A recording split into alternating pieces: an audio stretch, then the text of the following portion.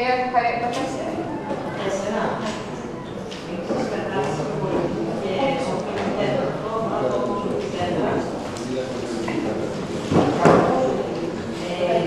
Δεν ακούγεται.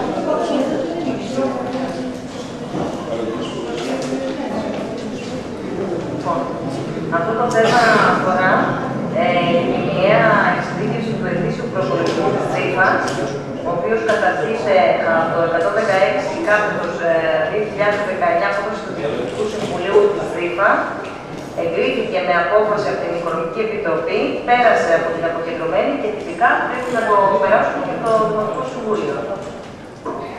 Ευχαριστούμε την κυρία Ζαχαριάδη. Ψηφίζεται και ο λόγος του κύριου Κυπαλιανίδη.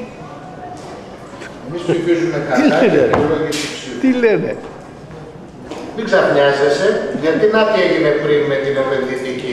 Οι εργαζόμενοι στον δρόμο. Κύριε Κυπαλιανίδη, η Όχι, αιτιολόγηση με ρωτήσει. Λοιπόν, ψηφίζουμε κατά. Κατά, ο κύριος Κυπαλιανίδης κατά με αιτιολόγηση ψήφου. Ακριβώς. Πρώτο για την γενική μας θέση για τις εταιρείες και όλες αυτές τις... ε, Οι εργαζόμενοι της επενδυτικής στον Δήμο είναι, κύριε Βασίλη. Δεν είναι, δεν πήραμε σίγουρη απάντηση και ξέρουμε και αρκετούς από την εκαθάριση που δεν είναι. Ξέρουμε και αρκετούς και μάλιστα ξέρουμε ότι κάποιοι δεν έχουν και ένσημα. Τους χρωστάνε και ένσημα. Όπως και σε κάποιους χρωστά και χρήμα. Γι' αυτόν ακριβώς το λόγο, Δεν κατάλαβα.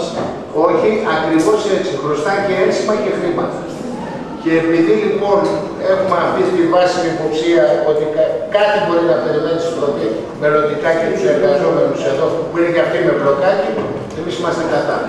Ωραία, κατά ο κύριος Κυπαλιανίδης, κατά η κυρία Κελοπούλου. Οι υπόλοιποι Κατά και εγώ είμαι. στο τέσσερα.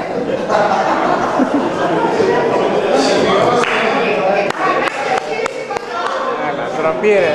Υπέρ. Ντροπή. Σημειώστε ότι ο κύριος Οικονόμου θα ψηφίσει και δεν εμείς, ε.